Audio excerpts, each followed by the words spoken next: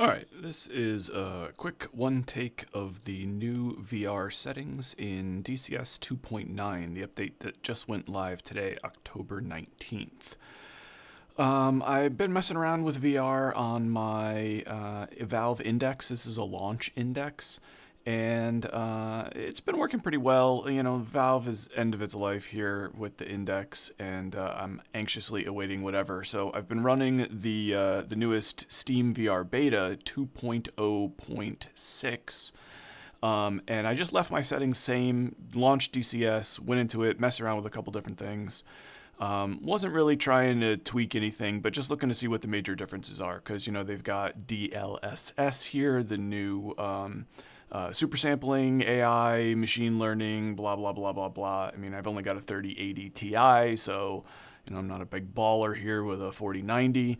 But, you know, I dropped 400 bucks on the VKB Gladiator setup here, and uh, the full immersion in VR totally needed with the hands-on stick and throttle. Like, I'm a A10 uh, tank killer guy, so, you know, from back in the day, Jane's Flight Sim stuff. So, you know, this is me just screwing around. Uh, first impressions, uh, you know, it's a 78 gig update. Um, and I know I'm not running top of the line hardware here. Like I said, 3080 Ti, uh, i7 12700K. Um, the Index launch, VKB Gladiators left and right. I got a Stream Deck running here, but it's not hooked up yet. I haven't done all key bindings. You know, hey, streaming one of these days. Um, but yeah, so I'm just gonna step through a couple settings here. I got key bindings messed around here. So um, yeah, let's see what happens. Uh, so real quick, you know, I can do the zooms in. So uh, resolution, you know, that's just the desktop resolution. I'm not going to display any of that, but, you know, set it one screen.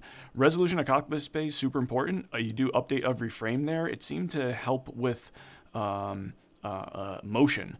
Uh, you set that down in like TADS displays and TGP displays. Um, uh, if there was motion on them, they get a little bit of weird blurring. Um, but that's where we'll get into this new feature here in the update DLAA, so dynamic anti-aliasing. Um, I've tried that on and off. Uh, you have to turn upscaling the DLSS off to enable DLAA. Um, I messed with stuff. Um, we'll talk about that. DLAA um, on if you turn DLSS off. Um, you do get the sharpest image. Uh, it does zoomed in and, and you know in its default state uh, looks the best. It really does. Um, DLSS uh, does allow you to jump up uh, uh, a lot of these fancier settings, a lot of these quality settings. It still maintains some stuff, but um, I still have to do asynchronous time warp for all that stuff. So um, my Valve index is set to 90 hertz mode. Uh, I cranked up the brightness a little bit on it um, just because it's old and I'm old and my eyes are old. But uh, if you just look through the settings here, messing around, um, I do have a DLSS on, quality up. Um, if you switched up the performance and uh, the high performance options in here, um, you know, the ultra performance, uh, the the default quality of text and and fine detail, especially when zoomed in, really bad. Um, smearing, um, you get alpha blending, you know, what that dithering and the uh, and the fuzziness on the edges of texts at, at, ultra performance and stuff like that, it, it just it's bad. So turn quality on. I mean, that's the whole point of dynamic super sampling, right? Quality mode. Um, the sharpening slider here, it's defaulted to off or zero, uh, whatever. I'm not going to mess with this. Uh, but um, the higher up you go, the more graininess of the textures that I saw. So, um, you know, I played one third, two thirds. I settled on three quarters, whatever. Um, you turn it up any more than this, and again, the images do get a little grainy. Um, textures, terrain textures, I've had these on high for my index. It seems to work. Um, shadows, I messed with this a little bit. Low, high, uh, leave them on low, it's the same. Um, obviously, flat shadow blurs, secondary shadows. You know, I didn't mess with this, but it doesn't sound like anything I'm going to be messing with. Sorry it's so shaky there. Like the Valve Index, I've got the two trackers up on the wall here, so they're kind of pointed right at me from 45 degrees. And like it's so sensitive when I zoom in like that, you actually can see my stupid heartbeat in the image. It's it's it's kind of ridiculous, but hey, 60 resting heartbeat. It's all it's all it's all good. Um, you know, flat shadows, blur, turn all that crap off. Obviously, you know, you want lens effects. I don't want any of that stuff. I want it to look like real life. Heat blur, motion blur. God, why people turn motion blur on? Keep it off. That is absolutely ridiculous. See me bending in here to try to give you guys a good view. Isn't that awesome? Um, this stuff is, uh, you know, personal preference. Uh, some of it is the view, you know, these clutter settings, these graphical settings, forest visibility. Uh, I've tweaked them to my own personal preference, what, what works for me on the index. Again, the index is not the greatest. I'm thinking maybe I want a Quest 3 to mess around with, but that Beyond VR is looking pretty good too. Um, uh, anisotropic filtering, uh, I have that as off.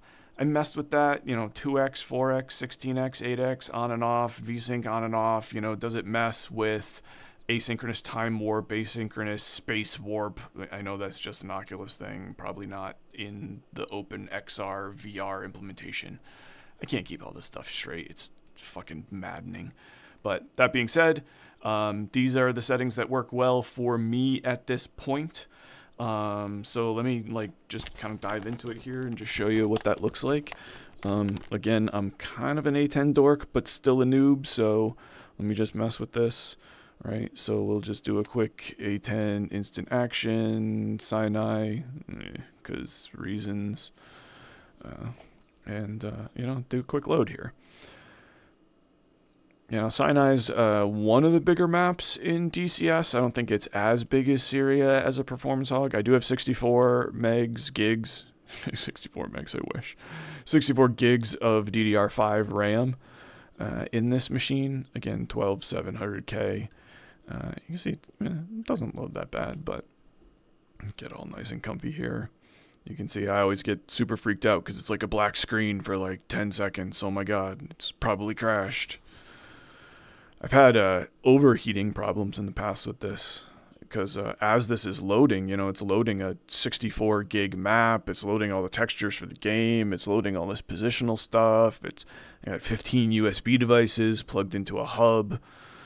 And, uh, you know, your power draw on this stuff is pretty crazy. So I had a SSD that was overheating and all that crap. But anyhow, so just quick mission overview here. I'm just to do a quick reset of my view so I'm nice and straight and click. So you can see I'll uh, turn on the uh, performance monitor here and the synchronous time warp at 45 obviously because my settings are at 90 hertz in, uh, in, in Vive here. So you can see here there's that my, my buddy there, he's launching. I love how when you zoom in and track it, the text now doesn't blur around. Uh, in prior versions of DCS, the shadows and text and stuff was so terrible. It would it would like flicker on and off. It was it was really quite bad. But uh, you can see there's my, there's my buddy here. That's cool. The smoke is much, much, much improved. Um, you can see here where we're time warped again, or whatever, locked at 45 frames a second, uh, because my hertz is at 90 on the display. Um, you can see where you really notice this stuff is on the font of these missions. And There's a Maverick going in there. Watch that. So that looks pretty cool. Uh, turn this target pod on uh, get this stuff fired up here, right? So, yeah, yeah, turn that on. So, like, when you get outside, like, it all looks so good now. I mess with shadows a little bit more, probably turn those up. But, like, in on those bombs in there, yeah, that's cool as hell.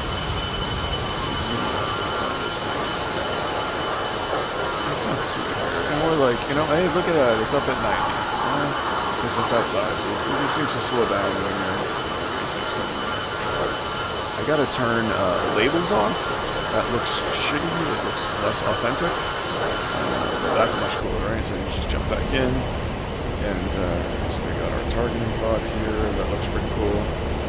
Yeah. So when you uh, when you're like on the dismiss page, that's where you see like this default, uh, this default, this default font on the display as green I don't know if it's the index LCD display, not doing green subpixels, good, bad, whatever. It's First off, it's, it's vibrant, which is great. The luminosity, the brightness is, is pretty good for being an old display here, but if I zoom in now, I can see the font is much, much clearer. I can, you know, I can read all the gauges on the cockpit, no problem, if I do that simple zoom in. That's what I've got bound to my thumb here, so as I push down on my VKB thumb, uh, I get simple zoom, and then large VR boom is up on my thumb. And then if I press in, it goes in cockpit. Pull back, it's back. Pull forward, it goes to the map. You know, so like. Warning, autopilot. Okay, yeah, yeah. Turn on autopilot. So you see, it's it's it's, it's a little it dips down in there, it gets around, but it's so smooth. So Warning, autopilot. So uh, throttle back here, get some altitude. Let's go see how the boys are doing. Turn off. Yeah, these stats, I don't even know what all this stuff is. Frame timing is in like 21, 22s, whatever. And that movement, see those guys way out there. I don't know if the data link update is uh, important here, but you can see the markers on my buddy there, the number two, because he's an A10 zooms in, that's really nice. Alright, so what do we got here? We got some Mavericks, right? So let's turn these guys on. It's uh, left over the Maverick, SOI. TGP is SOI. Okay, Mavericks on the HUD with the cross and the circle. We're out there, mission. What are these guys out here? BTRs? Zoom that out. see that diamond out there. See that? So you see a little bit of smearing in that right MFD as I move, but it's on just the target, so we can go black hot, go white hot, zoom this in. Just see a little bit of smearing, but I mean, dude, that might happen in real life. Area, we got the point, we got the laser out, TMS up long, we're gonna switch over to SOI, we're gonna tell that thing to zoom in, target. Bam, he's got it. Lasing.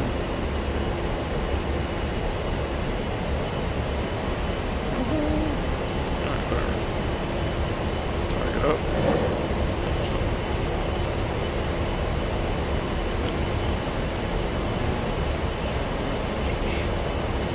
Track. Ground stabilize. Tracking. Firing. This is a low threat environment, so we're gonna throw it back out, and we're gonna track that in. See, look at this missile. Warning, ridiculous. autopilot. Hmm. Next one. BTR. Two BTR 80s down. Ooh, yeah. I didn't autopilot jump off there. Done it. Anyhow. Yeah, so we got a pretty good time here, right? So, like,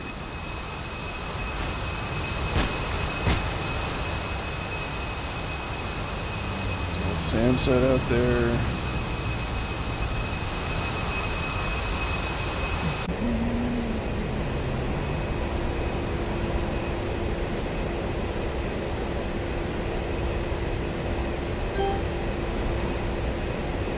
Warning, autopilot. What? Why warning autopilot?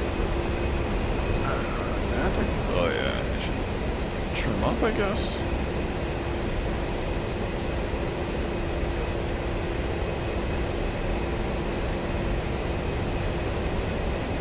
Stores, nav.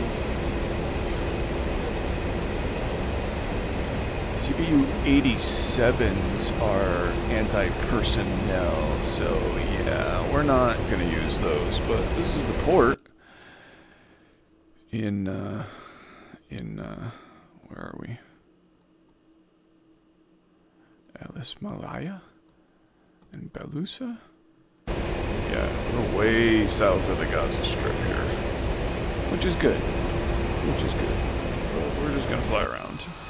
And uh, yeah, so that's the quick uh, VR overview here. Uh, like I said, um, you know, resolution of your screen, turn DLSS on, quality. Don't turn sharpening all the way up, it gets too grainy.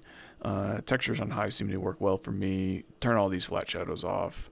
Uh, SSS, I don't even know what that is. We're gonna have to mess with that, but nothing big deal. Um, yeah, so you know mess around with this kind of stuff. I can mess around with my field of view a little bit but you know uh, these are just personal preferences type stuff. What the ground clutter what the video looks like. You can see when you're you're zoomed in here like it's pretty good. I can see into the individual windows. Like i think that guy's got a boat with a tarp underneath it or something. Pretty crazy. I mean just me talking is bouncing this thing around, but looks cool. Yeah, so anyhow, uh, thanks for paying attention.